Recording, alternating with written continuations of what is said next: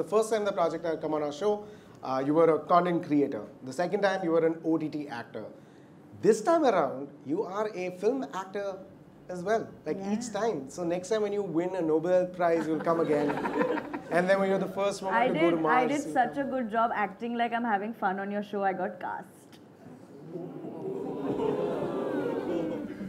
Where, where is the crying zone? There. so join you. You going to cut show? What are you talking about?